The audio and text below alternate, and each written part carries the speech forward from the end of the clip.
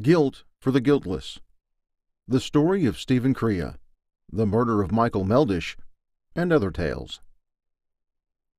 On November 15, 2013, on a quiet street in the Throgs Neck neighborhood of the Bronx, 62 year old Michael Meldish was found dead in his car with a single fatal gunshot wound to the right side of his head.